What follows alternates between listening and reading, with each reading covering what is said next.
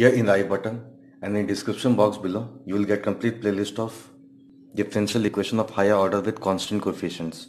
This is video number 15 and in this video we are going to solve fifth problem. Okay, fifth problem on the topic that is how to find CF and PI. Okay, very very very important problem. Okay, so before I start this video, I would request you to subscribe to my channel and if you learn something from my videos then please hit the like button and do share the playlist of uh, this chapter with your friends okay? So if you go to the playlist you can find these five problems okay? Yes. This is this problem is in video number 11 12 13 14 and in this video that is video number 15 we are going to solve this problem okay? All five problems are very very very important.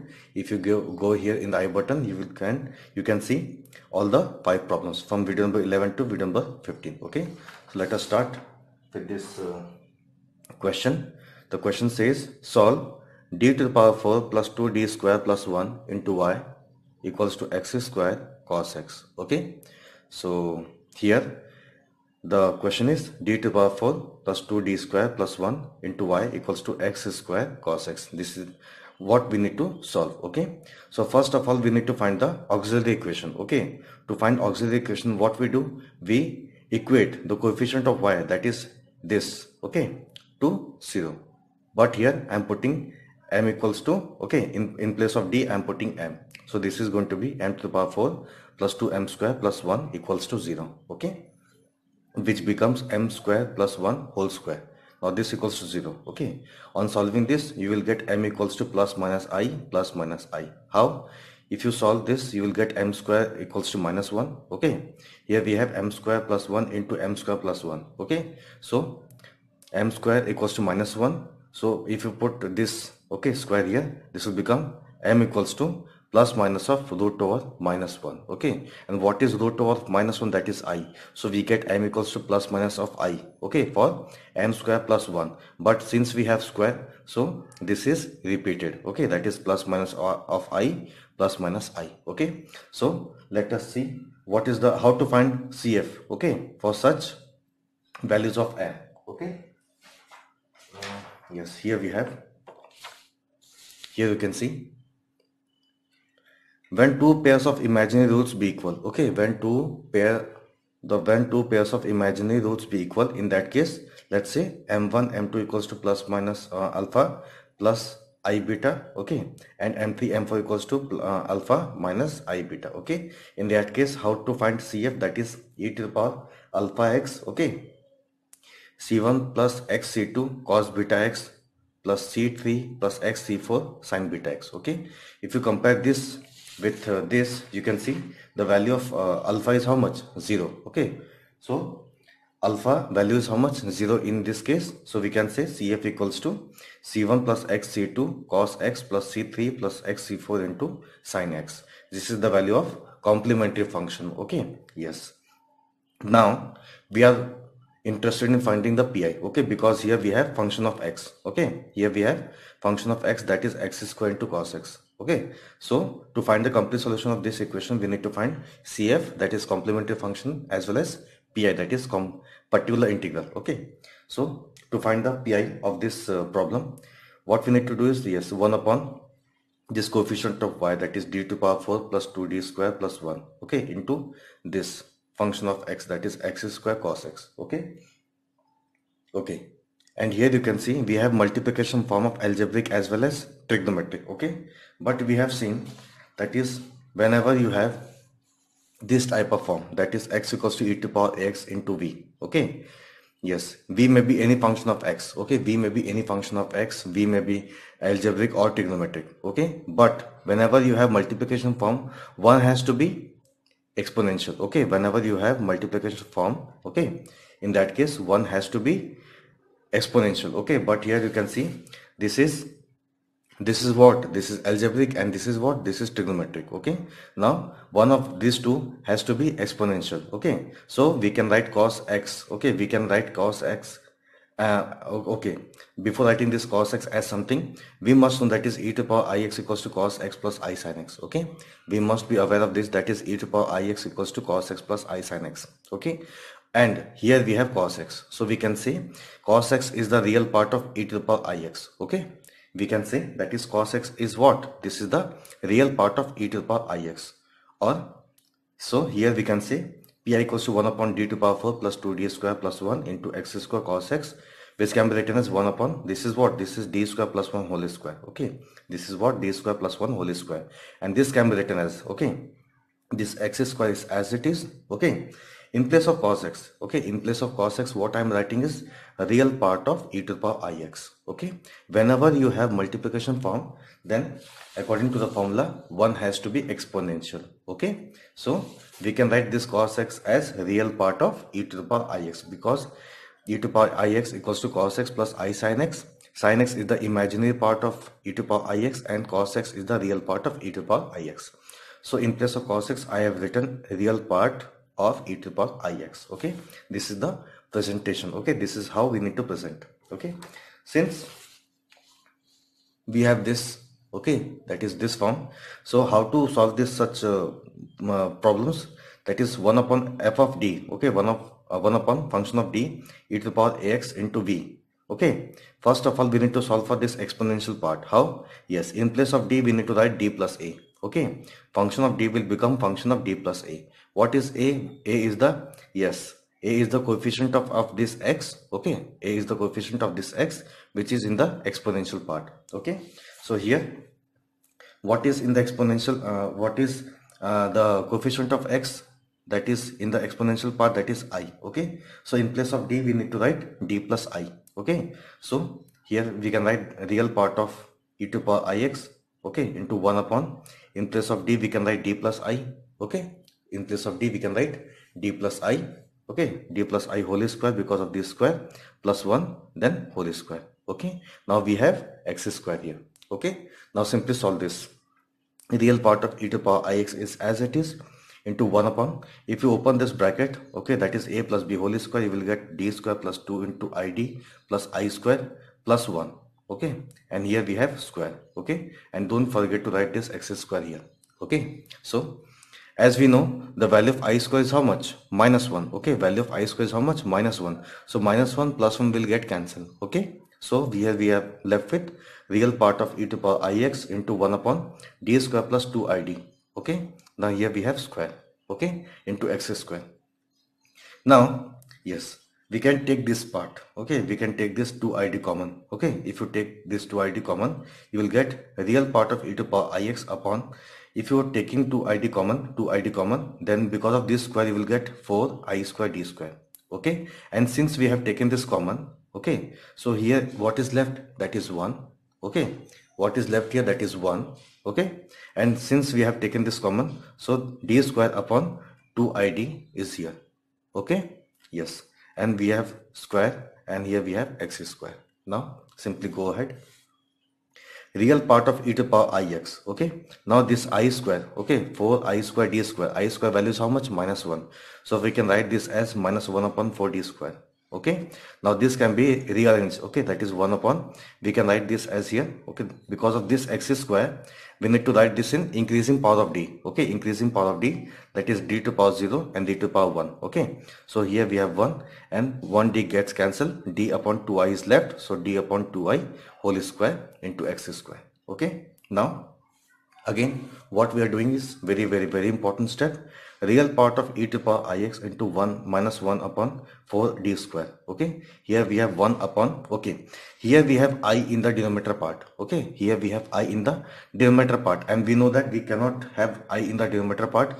So this plus can be written as minus of minus 1 okay? This plus can be written as minus of minus 1 and this minus and this minus 1 is what? I square. Okay? So we can write this plus as minus i square. Okay? Because the value of i square is how much? Minus 1 and minus 1 into minus will become plus okay? So in place of positive we are writing minus of i square okay? So 1 minus i square d upon 2i okay? So 1 i gets cancelled okay? And here we have square and don't forget to write here x square okay? Now again if you see what is left real part of e to power ix into minus 1 upon 4d square okay?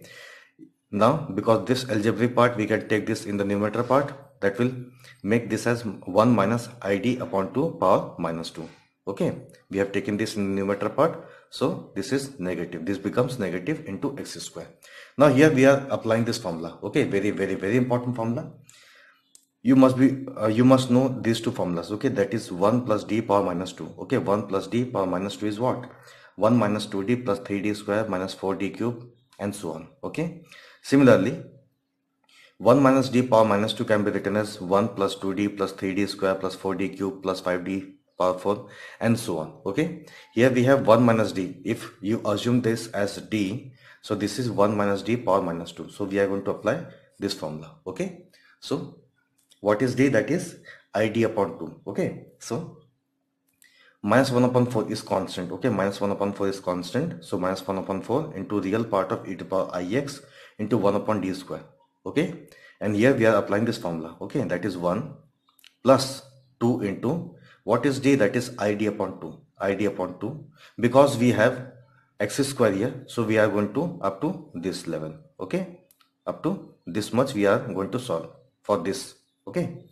So 2 into d. That is id upon 2 plus 3 into d square. 3 into what is d square? That is id upon 2 whole square. Okay? Id upon 2 whole square plus dot dot dot. No need to write further steps okay? Further uh, terms because up to this term this value is going to exist okay? And after further terms uh, after the, um, these terms you will get 0 okay? Yes. How? Let us see. So 2 2 gets cancelled here okay? This can be written as minus 1 upon 4 real part of e to power ix into 1 upon d square okay? If you multiply x square with 1 you will get x square okay here we have i and differentiation of x square that is 2x okay. Again plus 3 okay 2 square that is 4 okay. And i square i square value is hamesha uh, i i know that is i square equals to minus 1 and what is d square of x square? That is double differentiation of x square okay.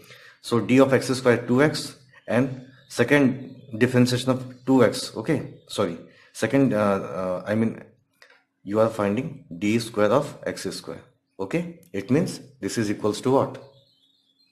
d of 2x or you can say this is equals to 2 okay? So d square of x square will become 2 okay? So now we are going to solve this part. Now solving this we have minus 1 upon 4 real part of e to power ix 1 upon d square as it is. This is x square as it is this, this is i 2x and if you solve this yes here we have 2 and this is minus 3 upon 2 okay? Now simply solve. Minus 1 upon 4 okay minus 1 upon 4 real part of e to power ix okay? Here we have 1 upon d square means we need to integrate this part. 1 upon d means integration and d stands for differentiation okay? D stands for differentiation and 1 upon d stands for integration. Since we have 1 upon d square so we need to integrate this part twice okay? So if you integrate this part first okay once you will get this as x cube upon 3 and this will become i this will become 2 this is this x will become x square upon 2 okay so that x 2 2 gets cancelled okay? And uh, here we have minus 3 upon 2 okay integration minus 3 upon 2 with respect to x will become minus 3 upon 2 x okay? Now again solve this. We have minus 1 upon 4 real part of e to the power ix okay? Again we need to integrate this part okay? That is e to the power ix integration of this will become x to power 4 upon 4 into 3 that is x power 4 upon 12 here we have i x square okay? Differentiation uh, integration of x square will become x cube upon 3 with this i we have i x cube upon 3 okay? Integration of this will become this and integration of this part this term will become this. Now integration this will become yes here we have 3 upon 2 and x will become x square upon 2 so this will become minus of 3 upon 4 x square okay? So we have differentiate this twice so that we get this okay that is x power 4 upon 12 plus i x cube upon 3 minus 3 upon 4 x square okay i hope this much things are very much clear to you okay you won't be having any difficulty regarding this. Now, 1 upon 4 is as it is real part of e to power ix. Okay, what is e to power ix? That is cos x plus i sin x. Okay, real part of e to power ix that is cos x plus i sin x into this. Okay, that is real part here. Okay, real part is here and here we have imaginary part. Okay, so what we need to do that is multiply this okay? That is minus 1 upon 4 real part of if you multiply this with all three terms you will get these three terms. If you multiply this i sin x into these three terms you will get these three terms okay? Now again simply solve okay So we can say we have minus 1 upon 4 real part of okay if you solve this we'll get x power 4 upon 12 cos x. If you solve this term you will get minus 3 upon 4 x square cos x okay. Similarly if you solve this part you will have you will have i x cube upon 3 cos x okay. Now coming to this that is we have i x power 4 upon 12 sin x. Solving this you will have minus i 3 upon 4 sin uh, x square sin x and last term will be here we have i square. So this will become minus 1 that is minus of x cube upon 3 sin x. Okay? So up to this i hope you won't be having any difficulty. Okay? And what is required? Okay? That is real part. Okay? Real part means we need to take this term. This term we cannot take this term because i is present here. Okay? We also cannot take this term because i is present here. We cannot take this term because i is present here. Now we can take this term. Okay? So if you want to find the real part of this 1 2 3 4 5 6 terms. We have just three terms. Okay? Yes. So we are taking only three terms for pi because we have real part. Okay? So pi equals to minus 1 upon 4 x to power 4 upon 12 into cos x minus 3 upon 4 x square cos x and minus x cube upon 3 sin x. Okay? This is the real part. Now let's suppose you have been asked that is imaginary part. Okay? Then we would we would have taken x cube upon 3 cos x x to power 4 upon 12 sin x and 3 minus of 3 upon 4 x square sine x okay? But here real part is asked so we have taken these three terms okay? So this is the value of pi okay? So what is what is cf? cf is this okay? And what is pi? pi is this. So if you want to find the complete solution of this equation then what is complete solution? cf plus pi okay? y equals to cf plus pi. What is cf? That is complementary function and what is pi that is particular integral okay?